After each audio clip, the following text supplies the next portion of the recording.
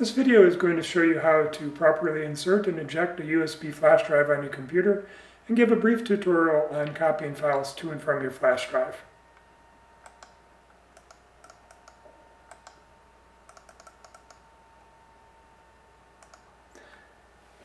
I'm now going to insert a USB drive into my computer, into a free USB slot, and you should hear kind of a bump bump noise.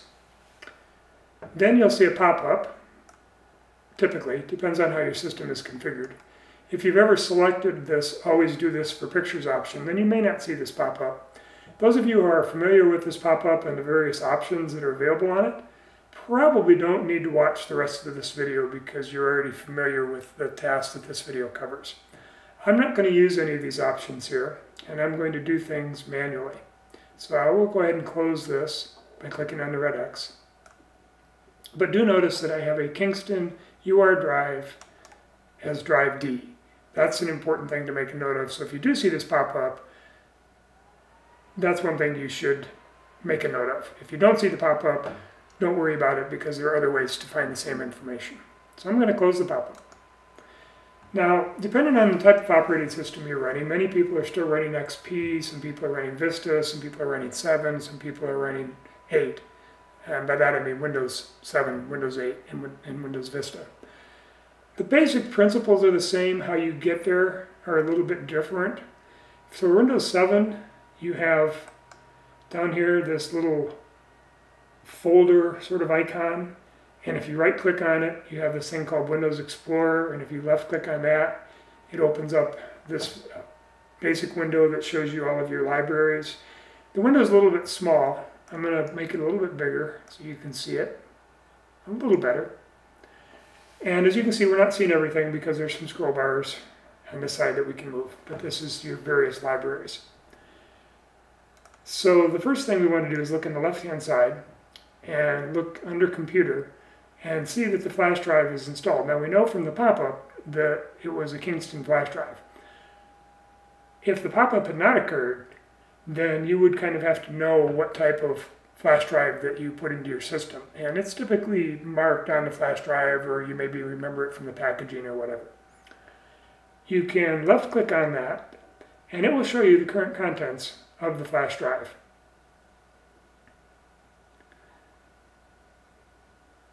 Now to eject a flash drive, many people just yank the flash drive out of the system and it's really not a good behavior because Windows has a procedure called delayed write. And what it means is that if you've tried to copy files to your USB drive, Windows may be waiting for the CPU to have a few more free cycles before it actually performs that task. And if you yank the USB drive out before that task is complete, you could end up with corrupted files and other problems. So you really don't want to just always yank your USB drive out of your machine. You want to use one of the two primary options for setting the USB drive up for proper ejection. And by that I mean that the, any files that are in the process of being written are finalized. So one way of doing that is to come over here and right click on the USB drive and you would then left click on eject. And we'll do that. And then you'll see a little message pop up on your screen. It's not showing up in the area that I'm capturing right now, but it basically says safe to remove hardware. It occurs over on the right-hand side on the bottom part of your screen. So I can now pull this USB drive out quite safely. All the files have been closed and written, and no damage can occur to them. I'm now going to put it back in again. The same pop-up appears that we saw before. And again, I'm just going to close it. And I'm now going to show you another way of, of determining what type of flash drive you have. And for Windows 7, you would left click on Start, and then you would go up to My Computer. And other operating systems based on Windows are fairly similar. So you would left click on Computer. And this is basically the exact same window we had before, or at least very similar to it. You can notice now the Kingston drive is actually over here in the middle part, and it's also over here on the left-hand side. This is typical Microsoft where they give you four or five ways to achieve exactly the same ultimate goal. So if I double click on this item here, I'm right back where I was before, where I'm seeing the contents of what's on the flash drive. And again, if I wanted to eject it, I would just right click on the drive on the left hand side and I'd click eject. I'm not going to eject it at this point. We've already been through that once. So now we're going to talk a little bit about how do you move files back and forth. So I'm going to arbitrarily pick a file from this flash drive and I'm going to copy it to my computer. So I'm going to make this window a little smaller and I'm going to open another instance of Windows Explorer. And I'm going to bring it down so that you can see it. It's a little crowded, but you can pretty much see what's going on here. So on the left, we have our flash drive selected on the left, and the contents of the flash drive are on the right. And in Windows 7, I right-clicked on this little icon down here, and I selected, I left clicked on Windows Explorer. And that's one way of doing this. I'll show you another way. Now, this is a picture, and you can tell that by the JPEG extension. So I want to move it to my pictures library or copy it to my pictures library. So I'm going to come over here and double click with the left mouse button on my pictures library. And I've got quite a bit of folders here. I'm going to use the training folder which I've previously created. If you needed to create a new folder, you could right click in any blank area, like right here, and you would see new, and you're not seeing it because it's not part of the area that I'm capturing, but one of the options for new is folder.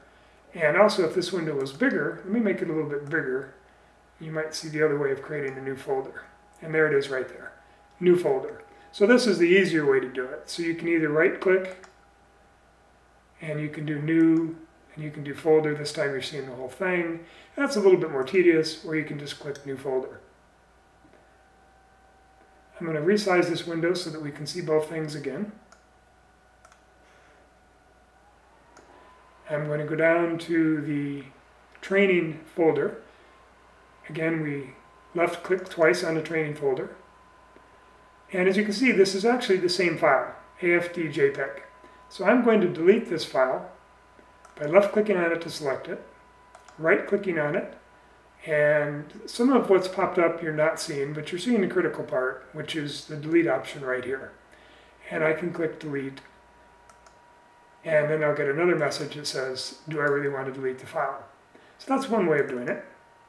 Another way to do it is to make sure it's selected and then you can just hit the delete key and that will bring up the same option. And at this point I'm going to answer yes. So now this training folder up here in the pictures library, remember we're in libraries, pictures. Now libraries is a Windows 7 and Windows 8 thing. If you're using Windows XP, you only have My Documents. And then under My Documents, it's kind of up to you to create separate folders for pictures, videos, music, or the other types of files that you want to store there. The end result is the same, it's just that they didn't do it for you to begin with. And some people have done that, and, and others have elected to just put everything into my documents. Um, really your own personal preference. So right now I have um, this pictures folder, and I've got, it's in the, sorry, in the pictures library, and the pictures folder is here, and it's empty. And I'm going to go to the left here, and I'm going to drag and drop this picture over here. And there's the picture. And you can see it's bringing up a little thumbnail of it right there. So that's using drag and drop. Again, I'm going to delete this picture. Answer yes. Another way of doing it would be to select the picture and go to Edit, Copy, move over to the place that you want it to go, in this case, this area here. You want to make this the active window, and by making it the active window, that's where any action you perform is going to take place. To make it the active window, you simply left click on the window. Notice how the color changes. If I left click on the left one, it changes color. If I left click on the right one, it changes color. That tells you which one is active. Then I can go to edit, and I can go to paste. And you do not want to do paste shortcut because that simply creates a pointer to the other file. You actually want to paste the entire file. So again, that's edit, paste. So that's the two ways of doing it, drag and drop and copy and paste. So that's assuming that you've got a file on your flash drive that you wanted to put on your computer. So let's do the opposite now. Let's delete the file from the flash drive. I've highlighted it. I click delete. I answer yes. The file is now gone from the flash drive, as you can see. Then I go over to the location that the file exists in, and I'm going to walk you through this again just to be sure you're confident of this. I've closed that. We're using Windows 7. Windows 8 is very similar. We go down here to this little yellow icon. We right click on it. We left click on Windows Explorer. And the good news is it typically brings up exactly the same size window that you had before. So once you've set it up the way you like it, it'll always come up that way until you change it. I'm going to be bringing in a picture. Now remember, we're moving the picture from the computer to the flash drive at this point. So uh, in this case, using Windows 7 or Windows 8, I'm going to go to Libraries, Pictures. If you're using Windows XP, you're going to have My Documents, and you may or may not have created a Pictures folder under it. It's kind of up to you to figure out where you've stored things. So I'm going to click on Pictures, and I'm going to scroll down to the Training folder. Select it with the left mouse button by clicking once, and then double clicking to take me in. And again, remember our ultimate goal is to place a copy of this picture on our flash drive. So on the right hand side here, this is the computer. This is our pictures library. I'll make it bigger again so you can see it. It's libraries, pictures, training. This is the actual computer, the file on the computer itself. And we want to put it on the flash drive, which is this window here. So I'll resize this window. Hopefully I picked the right one. And I didn't. So we'll try that again. There we go. And this time I think I have the right one. Okay. Again, our ultimate goal is to take a picture from our computer and copy it to our flash drive. We can do drag and drop by left clicking, dragging, and then letting go of the mouse button, and the picture gets copied over. The other option, I'm going to delete this picture. Answer yes. And the other option is to go back and make this on the right hand side, which remember is my computer. Are files on my computer. Select what I want to copy, edit, copy, come back over here, make this the active window, edit, paste, and there the file appears. So that's the basics of moving files back and forth between a USB drive and a computer. I'm going to go ahead and close both of these windows now and remind you of the various ways that you can eject the flash drive safely. So the first way is if we go back to Windows Explorer, I'll bring this to the left to make it a little bigger. We would scroll down to the My Computer area. Again, if it's minimized, you need to maximize it. You would select the flash drive, you would right click on it, and you would click eject.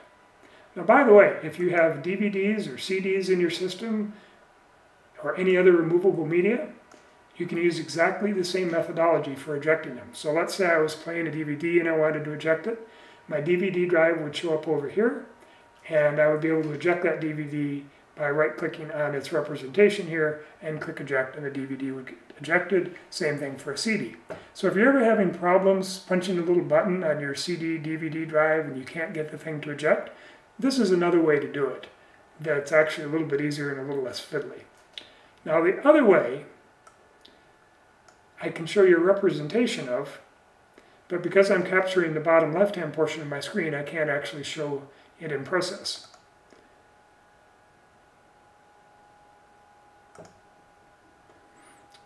So I've brought over a screenshot of the bottom right-hand side of what's known as kind of the status bar and taskbar. And these are all the icons that you'll see on the bottom right of your computer. Notice the clock is always the one on the farthest right unless you've rearranged them.